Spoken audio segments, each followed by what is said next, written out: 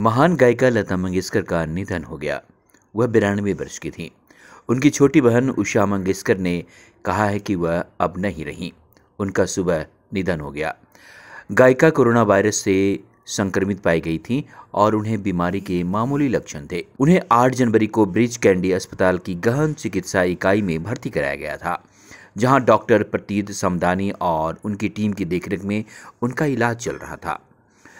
लता मंगेशकर की हालत में सुधार हुआ था और वेंटिलेटर पर हटा दिया गया था, लेकिन शनिवार को उनका स्वास्थ्य फिर बिगड़ गया था। दोस्तों, हम आपको बता दें कि लता मंगेशकर का असली नाम हेमा था।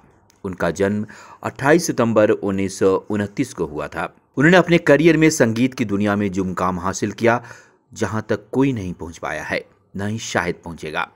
एक भारतीय पार्श्व गायिका और सामयिक संगीतकार, लता आज हमारे बीच नहीं है। लेकिन उनके सदाबहार गाने हमारे साथ रहेंगे।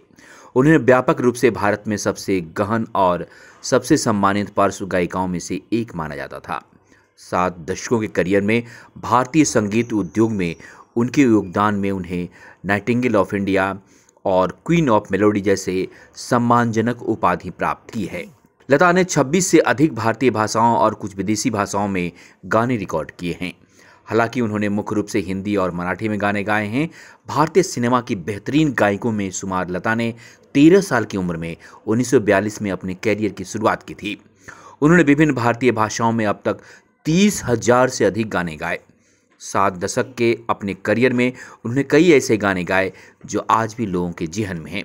इनमें अजीब दास्तां है, ये प्यार किया तो डरना क्या, नीला आसमान सो गया शामिल है। लता को भारत की सूर्य सामग्री के रूप में जाना जाता है। लता मंगेशकर अपने पूरे करियर में कई सम्मान उनके मिले हैं। उन्नीस सौ नवासी में दादा साहब फाल्के पुरस्कार उन्हें भारत सरकार द्वारा प्रदान किया गया था। 2001 में राष्ट्र में उनके योगदान के सम्मान में उन्हें भारत के सर्वोच्च नागरिक सम्मान, भारत रत्न सम्मानित किया गया था। यह सम्मान प्राप्त करने वाली एम एस सुबलक्ष्मी के बाद केवल दूसरी गायिका हैं। फ्रांस ने उन्हें 2007 में अपने सर्वोच्च नागरिक पुरस्कार of the legion of honour से सम्मानित किया। वो तीन राष्ट्रीय फ़िल्म पुरस्कार, पंद्रह बंगला फ़िल्म पत्रकार संघ पुरस्कार, चार फ़िल्म फेयर सर्वश्रेष्ठ महिला पुरस्कार, दो फ़िल्म फेयर विशेष पुरस्कार Filmfare lifetime achievement पुरस्कार, कई अन्य प्राप्त करता है। उन्नीस सौ चौहत्तर में वह लंदन के रॉबर्ट्स अल्बर्ट हॉल में प्रदर्शन करने वाली पहली भारतीय बनी। 1942 में ही जब लता तेरह साल की थी तो पिता की हृदय रोग से मृत्यु हो गई। नवयुग चित्रपट फ़िल्म कंपनी के मालिक और मंगेशकर परिवार के करीबी दोस्त मास्टर विनायक। विनायक दामोदर कर्नाटकी ने उनकी देखभाल की। उन्होंने लता को एक गायक और अभिनेत्री के रूप में अपने करियर शुरू करने में मदद की। लता ने नाचू या गाड़े, हेलो सारी, मन्नी, होश भारी गाना गाया था, जिसे सदाशिव राव नवेरकर ने बसंत जावलेकर की मराठी फ़िल्म कितनी हसाल के लिए संगीतबद्ध किया था, लेकिन गीत का अंतिम कट से हटा दिया गया था। विनायक ने उन्हें नवयुग चित्रपट की मराठी फ़िल्म पहली मंगला गौर एक छोटी भूमिका दी, जिसमें उन्होंने नताली चैत्रीची नवलई गाया, जिसे दादा चंदितकर ने संगीतबद्ध किया था।